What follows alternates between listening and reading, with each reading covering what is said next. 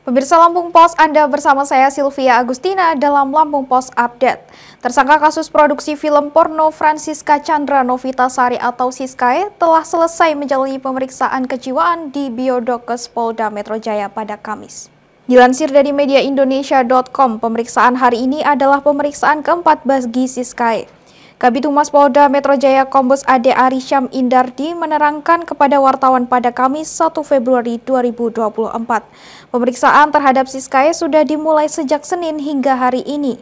Ia menjelaskan pemeriksaan pertama yang dilakukan oleh pihak kepolisian terhadap Siskae adalah pemeriksaan psikologis klinis.